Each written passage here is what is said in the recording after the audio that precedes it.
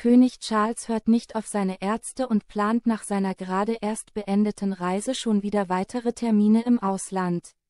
Sein medizinisches Team ist in Alarmbereitschaft. Gegen den Rat seiner Ärzte, König Charles plant weitere Reisen Königin Camillas, 77, und König Charles, 75. Auslandsreise nach Australien und Samoa hat ein wunderschönes Ende gefunden. Auf einem Foto am Strand der ozeanischen Insel strahlt das Königspaar fröhlich und wirkt total entspannt.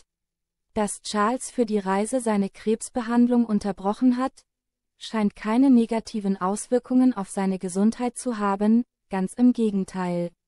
Wie ein Sprecher des Palasts erklärt, habe der König den Trip mit seiner Frau wirklich geliebt und sei richtig aufgeblüht.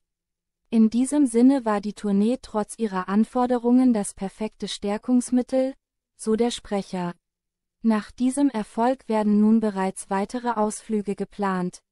Wir arbeiten jetzt an einem vollständigen Übersee-Tourneeprogramm für das nächste Jahr. Diese Pläne sorgen allerdings für Beunruhigung bei Charles Ärzten.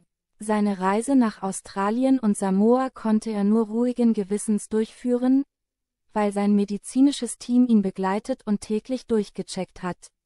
Nach der Reise sollte der 75-Jährige sich eigentlich schonen, so die Absprache. Charles jedoch meint, er sei fit genug und will sich wieder voll und ganz in die Arbeit stürzen.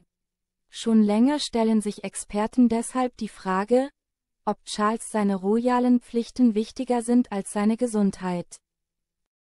Charles Krebserkrankung steht Versöhnung mit Harry im Weg Charles Krebserkrankung soll auch ein Grund dafür sein, warum eine Versöhnung mit Prinz Harry, 40, vorerst in die Ferne gerückt ist. Selbst als der 40-Jährige in England war, kam es zu keinem Treffen. Charles Team rät ihm von einer Aussprache mit seinem Sohn ab. Im Moment besteht das Gefühl, dass man den Stresspegel des Königs einfach niedrig halten müsse. Man will nicht, dass er sich zusätzliche Sorgen machen muss, erklärt Royal-Autor Robert Hartman gegenüber Fox News. Ein klärendes Gespräch mit seinem Sohn sei aktuell einfach nicht der passende Zeitpunkt.